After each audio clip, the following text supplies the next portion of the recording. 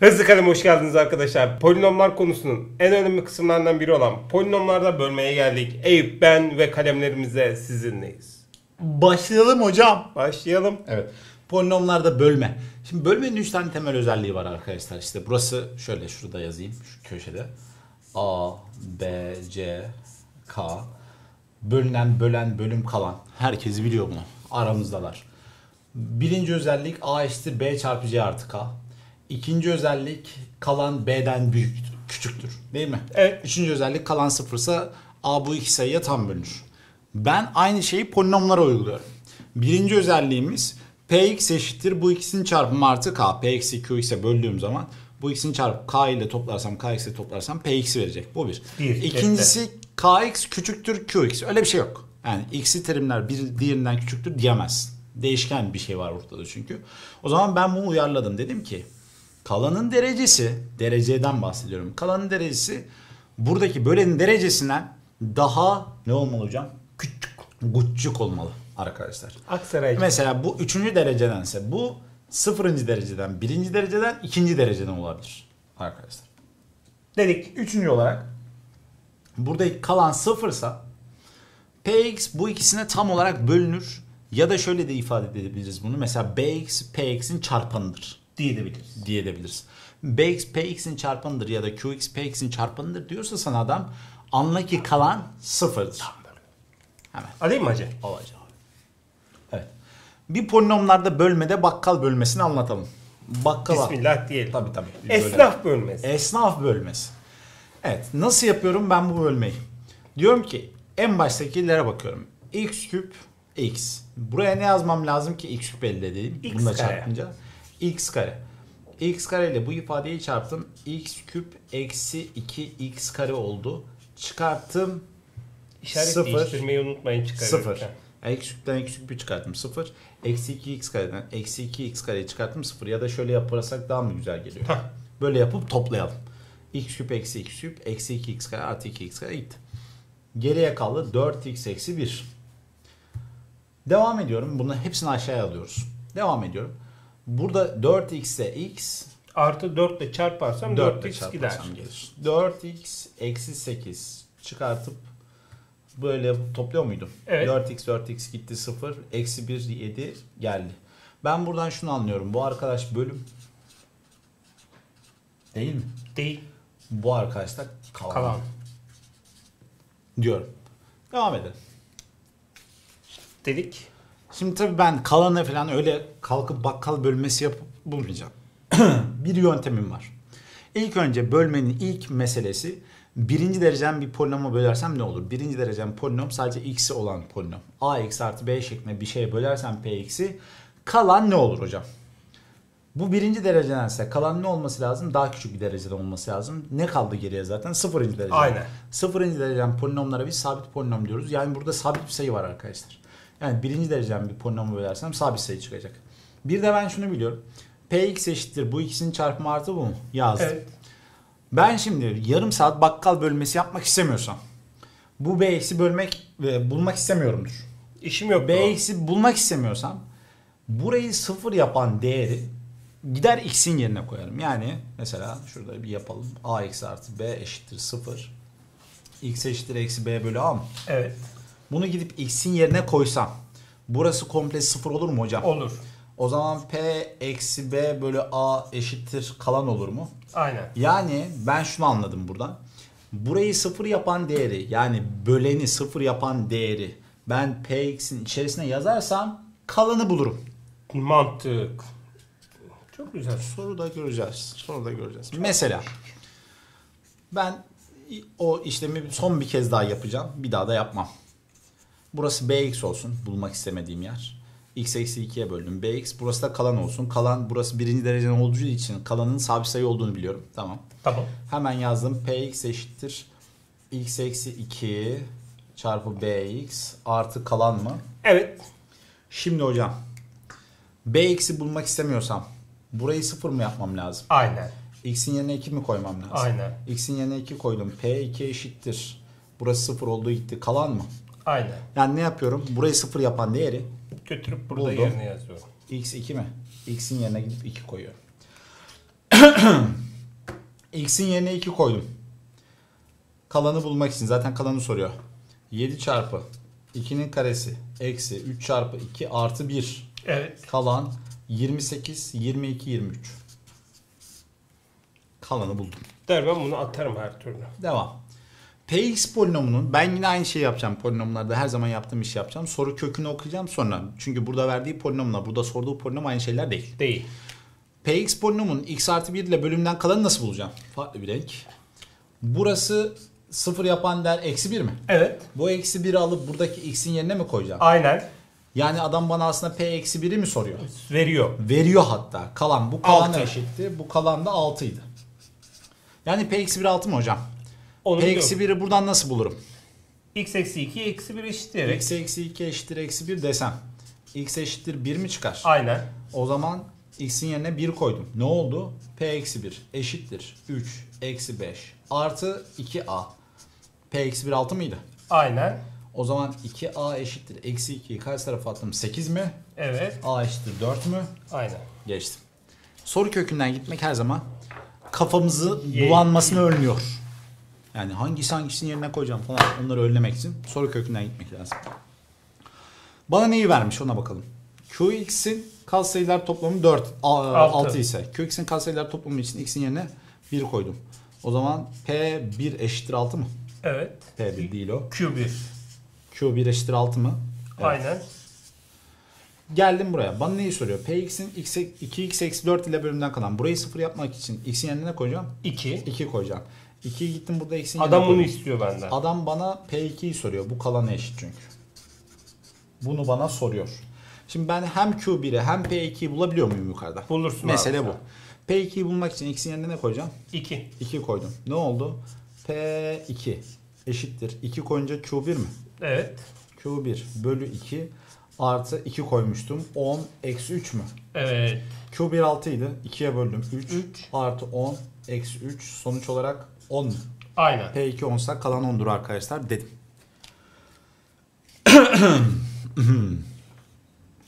ben bu sorunun bir benzerinden çözdüm. Çözdük. Dedim ki Ama gıcık. şimdi ben bir kere şunu görmek istiyorum. Px'in yine soru kökünü okudum. Px'in x artı 1 ile bölümden kalanı bulmak için x artı 1'i sıfıra eşitleyen değer eksi 1 olduğu için x'in yerine eksi 1 koyuyordum. Aslında bana kalan derken neyi soruyordu? P eksi 1. P eksi 1'i soruyordu. P eksi 1'i soruyorsa burada eksi 1 mi koyacağım yerine? Aynen. Eksi 1 koyunca 0 Aha, çarpı sıfır. P eksi 1 geldi mi arkadaşlar? Vallahi geldi. Bir şey gelir mi oradan? Gelmez. Çünkü Ama P eksi 1 yok oluyor. Ama ben bir önceki videomda şöyle bir şey çözmüştüm. Demiştim ki burasını 0 yapalım ki buradaki A'yı bulalım. P eksi bilmiyoruz çünkü. O zaman eksi yerine bir eksi 1 koydum. 0 eşittir. Eksi 1 koydum. Eksi Koydum. 2. Eksi 7. Artı A. Buradan A eşittir. 9. E, sonra P eksi nasıl bulacağım? Şimdi bölerim ben olsam. Polinom bölmesi arkadaşlar. Ne yazık ki gıcık. Bir Kaçış soru. yok. P Şansınız eksi yok. eşittir. 2x küp eksi 7x kare artı 9 a'yı 9 bulmuştum. Böyle x, eksi- x artı 1 olduğu için bunu buna böleyim ki ne kalacağını göreyim. Ne bölüm geleceğini göreyim. Direkt böleceğiz. Başka çareniz yok. Yapacak bir şeyiniz yok. 2x Böleceksin. kareyle çarptım. Bittiniz siz. 2x küp. Bittiniz. Artı 2x kare oldu. Çıkarttım. Çıkarttığım zaman hem bu eksi hem bu eksi. Bunları topladığım zaman 0. Burası eksi geldi değil mi? Şöyle oldu. Aynen. Eksi 7x kare, eksi 2x kare, eksi 9x kare mi geldi? Aynen. Artı 9. Bitti mi bitmedi. Eksi 9x ile çarpacağım. Eksi 9x kare artı 9x. Eksi 9x geldi. Buralar artı artı mı oldu zaten? Evet. Ne güzel. Bunlar gitti. 9x artı 9. Bir de 9 ile çarparsam 9x artı 9 gelecek. Kalan Bunlar sıfır. gidecek. 0 kalacak. Zaten 0 kalmasını istiyorum. Tam bölünmesi lazım ki alttaki x artı 1 yok olsun. Px polinom olsun. Aynen. Tamam. O zaman bu px mi hocam? Kesinlikle. Bana neyi soruyor? P eksi 1 soruyor. P eksi 1 eşittir. Burası 2. Artı 9. Artı 9 mudur? O zaman 20 midir? Kalan da budur zaten dedim. Şansınız yok. Ne yapalım? Hayat. Px artı 1, 3x kare eksi a artı 1x artı 4 polinomu veriliyor. Px polinomunun çarpanlarından biri x artı 1. Şimdi arkadaşlar çarpanlarından biri ne demek? Çarpanlarından biri ise bu bunun. Hı hı. Px x artı 1'e tam bölünüyor. Evet. Tam bölünmesi kalanın Sıfır. 0 olduğu manasına geliyor. O zaman Px'in x artı 1 ile bölümden kalan 0. Kalanı nasıl buluyorum? Bunun yerine eksi 1 mi koyuyorum? Aynen. X'in yerine eksi 1 koydum. Bu kalanı veriyordu. Kalan neydi? Sıfırdı. Yani P eksi 1'in sıfır olduğunu biliyorum ben. Şu anda bildiğim bilgi bu. P eksi 1 sıfırsa yukarıda P eksi 1'i bulabilirim. Ona bakalım. X'in yerine ne koyacağım? X artı 1'in eksi 1 olmasını istiyorum. X'in yerine eksi 2 koyacağım. Hadi koyalım bakalım. P eksi 1 eşittir. Eksi 2 koydum. 12 eksi 2 eksiyle çarptım. 2 içeriyle çarptım. 2a artı 2 artı 4 eşittir 0 geldi. 2a 12 14 18 karşı tarafa attım. Eksi 18 geldi. a dediğim şey eksi 9 geldi. Zaten bana onu soruyor idi. Geçtim. Şimdi arkadaşlar şu ana kadar gördüğümüz bölme birinci dereceden polinomlara bölme. Yani x eksi 1, 2x artı 4, 5x artı 5 gibi sadece x'li şeylere bölüyorum ben. Böldüm şu ana kadar yaptığımda. Bundan sonrakilerde işte x kare artı 1 buradaki gibi x küp eksi 1, x üzeri 4 artı 3 filan gibi şeylere böleceğim. Ama mantık hiçbir zaman değişmiyor. Bir soru tipi var. Onun haricinde hep aynı şeyi uygulayacağım. Mesela ben bunu da yazmak istiyorum. Son bir kez daha yazayım hadi. x kare artı 1'e bölsem. Peki. Burası bx olsa. Kalan kaçıncı dereceden hocam? Kalan mı? Bu Birinci ikinci derece. dereceden ise burası ya, iki- ya birdir ya sıfırdır. Evet. Bilmiyorum. Önemli değil. Burası k eksi olsun. Mühim olan Bx. Mühim olan bx dedi. Demek ki o onu seviyormuş arkadaşlar. bx'i seviyorum. Artı kx. Şimdi ben yine bx'i bulmak istemiyorsam Sıfır yaparsın abi. yine aynı şeyi yapmayacağım. Yani Yapacağım burayı abi. sıfır yapacağım. Saçma gelebilir arkadaşlar ama x kare yerine eksi 1 koyarsam burası sıfır oluyor mu? Olur. Oluyor. O zaman ben x kare gördüğüm bütün her yere eksi 1 Eksi bir koyayım. yazacağım. Mantık aynı olduğu için hiç konu anlatmadan konuya dahil oldum. Şurada px'in px'te x kare gördüğüm her yere eksi 1 yazıyorum. px'i düzenleyelim. x karenin karesi x üzeri 4 artı 3x çarpı x kare. Doğru mu? Evet. Eksi 2 tane x kare artı 5x Eksi 2. eksi 2. Şimdi x kare gördüğüm her yere ne yazıyorum? Eksi bir. Eksi 1 yazıyorum. Eksi 1'in karesi artı 3x, 3x çarpı eksi 1. Eksi 1, eksi 2 artı 2. Direkt yazdım. 5x eksi 2. Burası 1. Eksi 3x. Artı 2 artı 5x. Eksi 2. 2'ler gitti. 5x eksi 3x 2x oldu. Artı 1. Arkadaşlar bu sonuçta bulduğumuz şeye ben kalan diyorum. Şıklar da bu şekildedir. Aynen. Zaten kalanın birinci ya da sıfırıncı dereceden olduğunu söylemiştim. Bu birinci dereceden geldiyse problemim yok demektir. Aynı soru. Ben o zaman yine yazmayacağım artık bunu. x küp artı 1'i sıfıra eşitledim. x küpün yerine ne koymam gerekiyor? Bir. 1 koymam gerekiyor. Şimdi burada yanılgıya düşüyor arkadaşlar. Diyorlar ki x küp 1 ise x de 1'dir. x'in yerine 1 koyayım. Öyle bir şey yok arkadaşlar polinomlarda. Bölümden kalanı soruyorsa x küp gördüğün yere 1 koyacaksın. Yoksa X- yazmayacaksın Aynen. arkadaş. Aynen.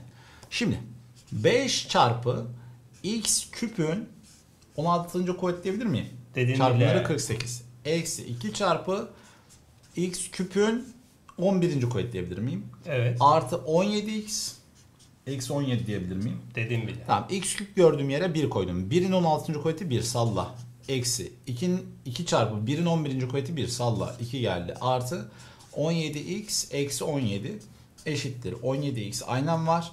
3 eksi 17'den eksi 14. Zaten bunun ile bölümden kalan ne olmalıydı bunun ile bölümden? Ya ikinci derece ya birinci derece ya sıfırıncı derece olmalıydı. Ben birinci dereceden bir polinom kaldığını İki de bulabilirdiniz. Gördüm. Korkmayın.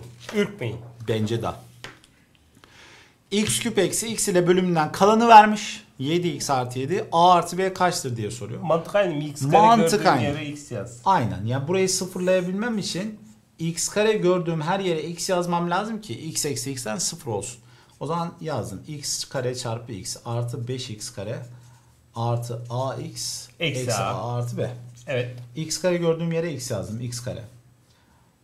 Ondan sonra x kare gördüğüm yere x yazdım. x. Bir daha uzatmayayım diyorsun. Uzatmayayım. 5x kare gördüğüm yere Artı x yazdım 5x. Doğru mu? Evet. ax gördüğüm yere ax yazdım. Zaten x kare yok. Daha x kare yoksa hiç x kare görebilir miyim? Göremem. O zaman baktım. 6x artı ax Ha orayı mı eksi a artı b eşittir 7x artı 7. 7x artı 7.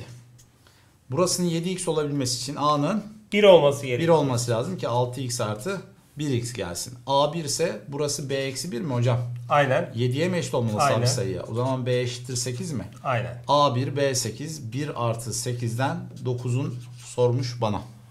Dedikten sonra geldik son soruya. Aynı soru arkadaşlar. Aynı soru tipi üst üste veriyorum. Tekrar. X üzeri 4 artı 1 ile bölümden kalanı soruyorsa bana ben ne yapacağım? X üzeri 4'ün yerine Eksi eksi 1 yazacağım. yapıştıracağım. Eksi 1 yapıştıracağım X üzeri 4'ün yerine. Ama X üzeri 4'e 96, parçalamam lazım. X 96 kalır. 4'ün katı. Tamam. X üzeri 4 üzeri 24. 96 gelsin. Bir tane de x. çarpı x artı x üzeri 4 üzeri 4 16 oldu. Eksi Ha. 4 tane x üzeri 4 üzeri 3 Evet. artı x üzeri 4'ün karesi var 8 oldu. 9 olması için bir tane x ile çarptım. Eksi 5 tane x üzeri 4 çarpı x artı x kare ne kadar da uzunmuş bu. Niye bu kadar uzun yazmışım? Kendime hayıflandım şu anda. Devam edebilirim. Eksi 1 koydum. 24. kuvvetini aldım. Bir. 1. x ile çarptım x. Eksi 1 koydum. 4. kuvvetini aldım. Artı 1. 1. Eksi 1 koydum. Üçüncü kuvvetini aldım. Eksi 1. Eksi 4 ile çarptım. Artı 4 oldu. Artı eksi 1 koydum. Karesini aldım. 1. X ile çarptım. X oldu. Eksi 1 koydum. Eksi 5 ile çarptım. Artı 5 oldu. Artı 5. X ile çarptım. 5x. Eksi 1 koydum. Artı şey yapamıyorum. Eksi 3 koydum. Eksi 1, eksi 3, 4. Gitti x mi? kare yerine niye eksi 1 yazdın ki? x üzeri 4 yerine eksi 1 yazacağız ya. Burası arkadaşlar benim hatalı olduğum yer. Evet şöyle mi? Evet. Burası yok. Tamam. Şimdi bunda bu da var. Hala o da var. x 2x 7x. 7x x kare 1 5 eksi 3 eksi 2 şu mudur? Evet. Kalanı hep aynı şekilde buluyorum. İkinci dereceden bir polinom çıktı bu sefer de karşıma. Dedikten sonra bunu da gönderdik ve geldik. YouTube'da Hızlı Kalem kanalına abone olmayı unutmayın. Unutmayın. Instagram'da, Twitter'da ve Facebook'ta bizi takip etmeyi Edin. unutmayın. Sağlıcakla kalın. Hoşça kalın. Hoşça kalın.